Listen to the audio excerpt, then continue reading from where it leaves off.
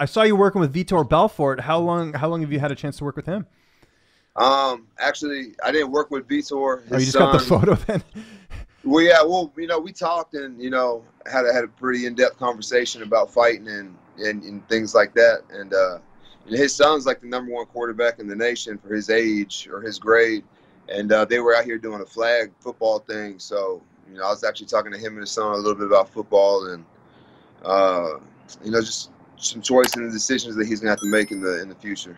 Interesting. How how's his son at football? Like you're you're a football guy. You won a national title. Is, is his kid legit? What's what's the scouting report, Eryk? What, what do you think? Or have Man. you seen have you seen him play?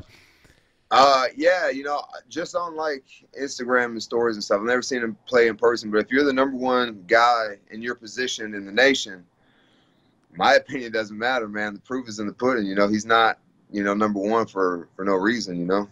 Interesting. That's good. Do you do you plan on keeping in touch with Vitor about that subject? Like, did was he like, hey, if I need any sort of advice or anything when it comes to football stuff, did did he kind of you know extend an olive branch, sort of so to speak?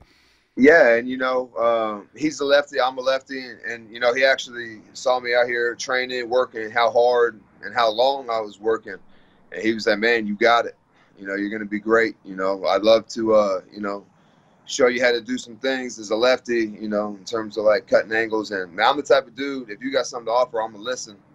And you know, I'm, I'm gonna go see what's up. So uh, in the near future, you know, I, I, do plan on going down there and uh, and working with Vitor a little bit. Yeah, let's kick it off. Jack cross to the beat, beating you MMA. Heat is the main course of the feast. Lynch on sports, the force. He's got his ears to the streets. Uppercutting with knowledge, shaking the brain with breakdowns of the game with that original flow. Head kicks with the pros, picks of the fights or anything in the.